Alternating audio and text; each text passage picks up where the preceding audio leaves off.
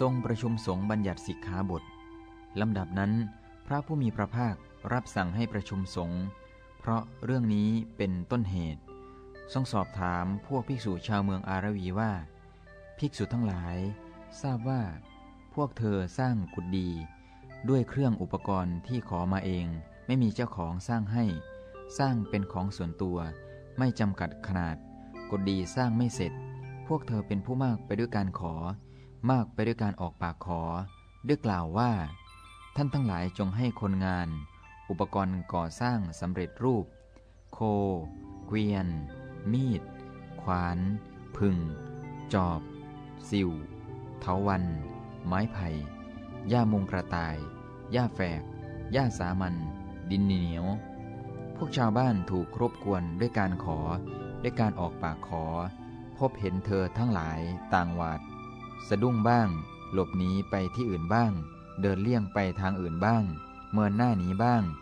ปิดประตูบ้านบ้าง พบเห็นแม่โคเข้าก็วิ่งหนีเพราะเข้าใจว่าเป็นภิกษุบ้าง จริงหรือ ภิกษุเหล่านั้นทูลรับว่า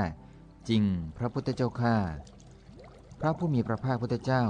ทรงตำหนิว่า โมฆะบุรุษทั้งหลาย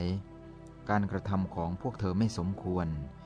ไม่ควรทำ โมฆะบุรุษทั้งหลายฉะนั้นพวกเธอจึงสร้างกุฏิด้วยเครื่องอุปกรณ์ที่ขอมาเอง ไม่มีเจ้าของสร้างให้ สร้างเป็นของส่วนตัวไม่จำกัดขนาดกุฏิสร้างไม่เสร็จ พวกเธอเป็นผู้มากไปด้วยการขอ มากไปด้วยการออกปากขอ ด้วยกล่าวว่า ท่านทั้งหลายจงให้คนงาน อุปกรณ์ก่อสร้างสำเร็จรูป โค เกวียน มีด ขวาน พึง จอบ สิวเถาวัน ไม้ไผ่หญ้ามงกระต่ายหญ้าแฝกหญ้าสามัญดินเหนียว ดังนี้โมฆะบุรุษทั้งหลาย การกระทำอย่างนี้ไม่ได้ทำคนที่ยังไม่เลื่อมใสให้เลื่อมใสลำดับนั้น พระผู้มีพระภาค ครั้นทรงตำหนิพวกภิกษุชาวเมืองอารวีโดยประการต่างๆแล้ว ทรงแสดงธรรมีกถา